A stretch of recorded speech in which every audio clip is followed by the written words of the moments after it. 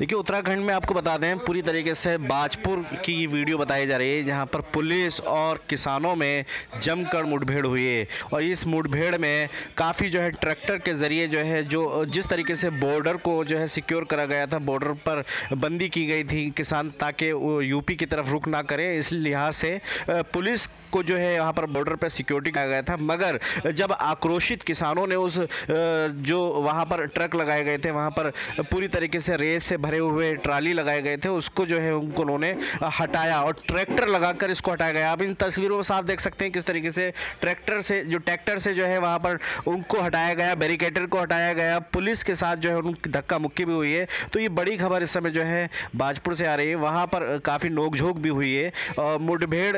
पूरी तरीके तरीके से इसको कहा जाएगा क्योंकि पुलिस जो है काफ़ी रोकने का प्रयास कर रही थी मगर फिर भी जो है किसान नहीं माने और वो आगे बढ़ गए